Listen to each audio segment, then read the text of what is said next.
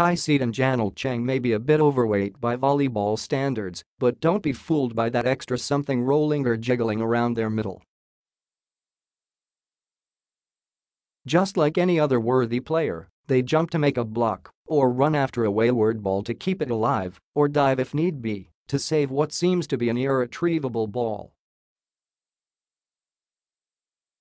And they are simply wonderful when they do what they know best, make excellent set after excellent set for their attacking teammates.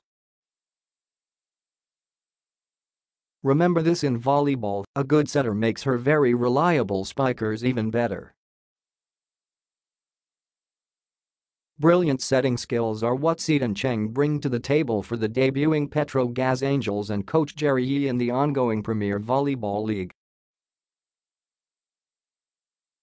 Between them, Saet, who played for La Salle in the UP, and Cheng, who suited up for the College of St.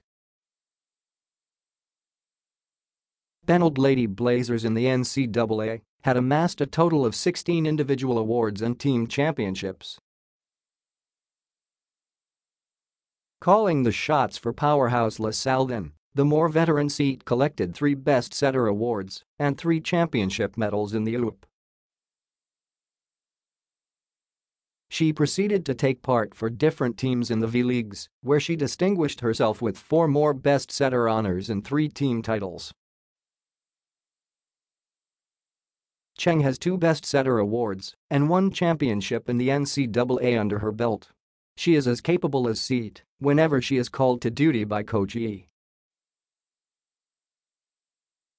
Stephanie Mercado, daughter of former Asia sprint queen Lydia de Vega, and imports Anastasia Trach of Ukraine and Kadi Kullerkann of Estonia are now leading the offensive charge of the Angels.